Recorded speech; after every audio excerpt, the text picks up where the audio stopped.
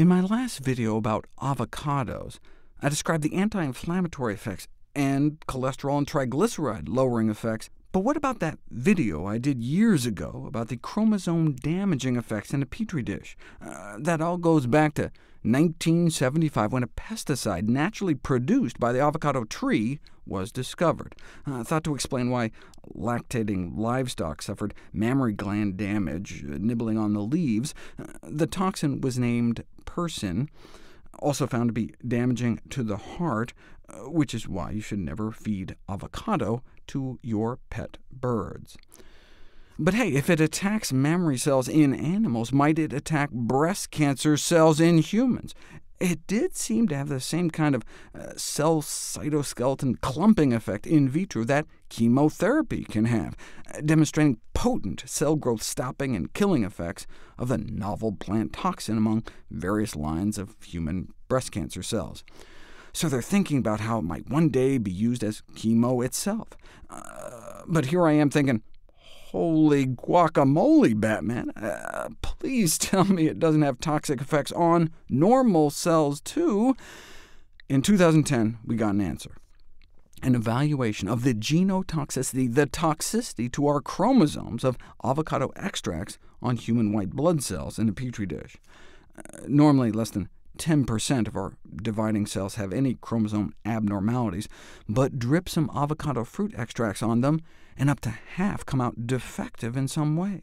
They conclude that there's something in avocado fruit that can potentially induce significant genomic instability and some genetic damage in human white blood cells in a petri dish. If the same effect occurs in actual people, it could, for example, result in transforming cells into cancer. Uh, that's a big if though. These were blood cells. You don't inject guac into the vein.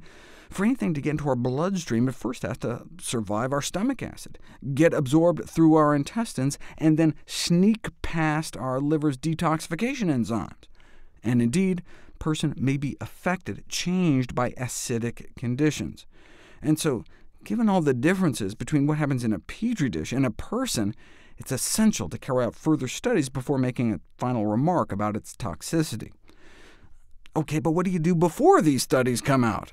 I was concerned enough I provisionally moved it from a stuff-your-face green light food to a moderate your intake yellow light food until we knew more to err on the side of caution. Even if persin was utterly destroyed by stomach acid, what about oral cancer? At high enough concentrations, avocado extract can harm the growth of the kinds of cells that line our mouths.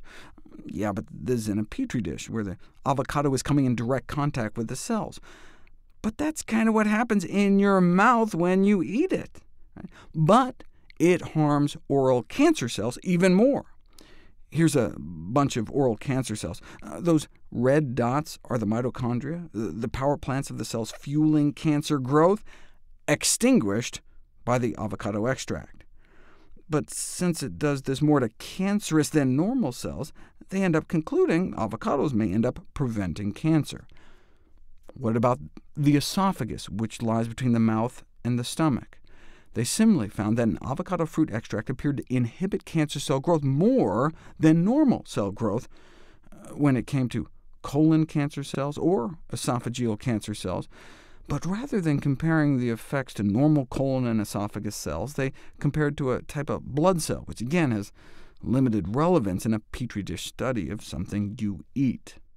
This study was pretty exciting, though. It looked at P. cresol, which is a uremic toxin, may also be toxic to the liver, has been found associated with autism, and it comes from eating high-protein diets, whereas if you eat more plant-based diet, the only source of prebiotics like fiber and resistant starch, your levels go down. See, fermentation of carbohydrates in the colon, like fiber, is considered beneficial, whereas fermentation of protein, which is called putrefaction, is considered detrimental. So you switch people to a high-protein diet, and within days, the excess protein putrefying in their gut leads to an increase in ammonia as well as P-cresol, in fact, a doubling of levels within a week.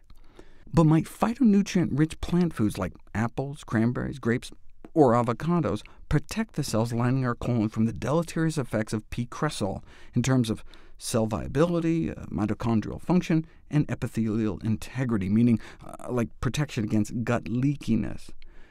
Here's that data on barrier function integrity, damaged by P-cresol, but rescued by all the cranberry, avocado, grape, and apple extracts, though mitochondrial function was only improved by the cranberries and avocados, and they're also the only ones that appeared to prevent the deleterious effect of P-cresol on colon cell viability. But bottom line, avocados appearing to have beneficial effects on colon lining cells, so that's a good sign. OK, but enough of these in vitro studies already. Yes, an avocado extract can inhibit cancer cell growth in a petri dish, but unless you're doing some unspeakable things to that avocado, like guacamole with benefits, uh, there's no way that the avocado is going to come in direct contact with your prostate cells. So what does this study you know, mean? That's why I was so excited to see this study, the first actually look for a link between avocado consumption, actual human beings eating avocados, and prostate cancer. So do avocado eaters have more cancer risk, or less cancer risk? We'll find out right now. Men who ate the most avocado, more than about a third of an avocado a day, reduced their risk of prostate cancer. In fact, less than half the odds.